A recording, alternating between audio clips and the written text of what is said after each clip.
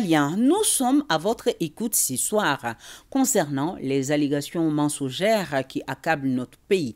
À Tombouctou, Bamako, Mopti et à Sikasso, vous nous avez parlé avec votre cœur car vous pensez que les ennemis du Mali veulent saper ainsi le moral de nos militaires sur nos différents théâtres d'opération. Suivons Bobakar Kanouté en collaboration avec nos stations régionales.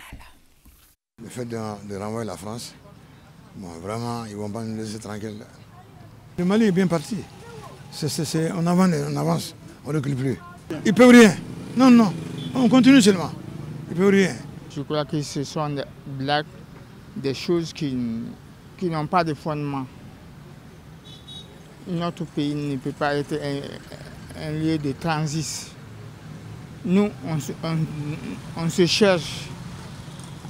On ne peut pas laisser l'ennemi détruire notre pays. Ce sont des ennemis patentés des mauvais éléments pour les problèmes de Moura. Et ce sont les chefs principaux qui sont morts là-bas. Et ce sont des blancs qui sont morts là-bas. C'est la France qui a mené ces gens qui entraînent les gens, les, noirs là-bas pour, pour, pour, tuer nous-mêmes, entre nous-mêmes.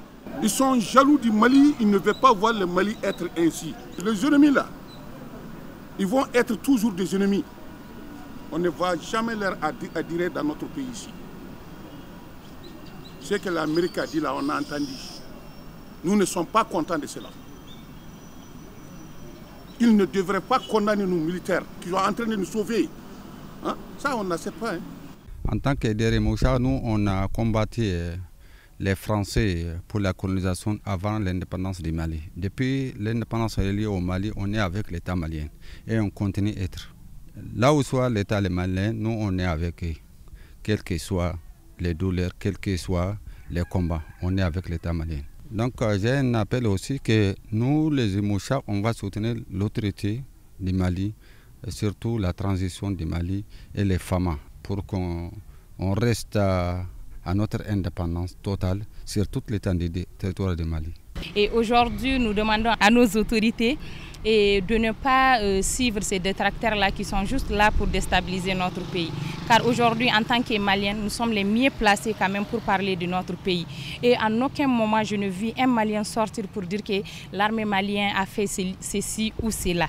Et depuis l'arrivée de la transition, ils sont là à lutter pour qu'on puisse euh, retrouver euh, notre souveraineté totale et pour que chaque Malien puisse au moins se sentir en sécurité. Car on a une armée qui est une armée républicaine, qui est une armée qui défend la population d'abord et qui lutte pour que le pays soit encore plus stable. On sait très bien que l'armée malienne est en train de bien travailler. L'armée malienne est en train de libérer le, pays et l'armée malienne est en train de lutter contre le terrorisme. Nos forces et nos autorités ne font que ce qu'ils veulent la population. Et ce que les opinions eh, internationales et même l'ONU est en train de dire, moi je pense que ce sont des folklores médiatiques. Seulement je demande à la population malienne de se donner les mains pour faire la cohésion tout autour de nos autorités. Le message que je lance à la population malienne, c'est de dire à la population malienne que nous avons gagné. Parce que ces messages d'intox, c'est le désespoir. Le les messages d'intox, ça montre qu'ils ont perdu alors c'est aux Maliens de se donner la main. Quoi qu'ils disent, quoi qu'ils feront, nous soutenons notre gouvernement, nous soutenons la transition.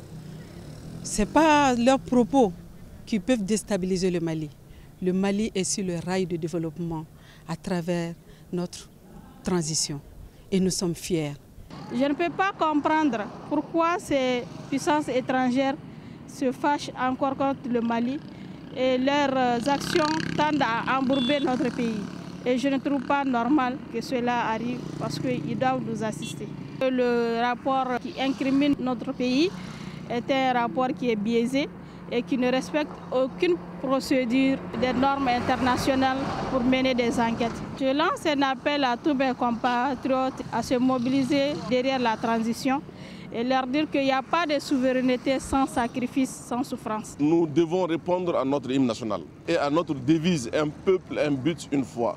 Aujourd'hui, ce n'est ni les dirigeants qu'on doit regarder, ce n'est ni les hommes qui dirigent ce pays qu'on doit regarder, ce n'est ni X ou Y, mais c'est le Mali même qui est dans le gouffre. Mettons-nous ensemble pour sortir le Mali de ce gouffre d'abord, avant d'aller à autre chose. Si les gens se réunissent vraiment pour vous détruire, initiez-vous pour vous construire.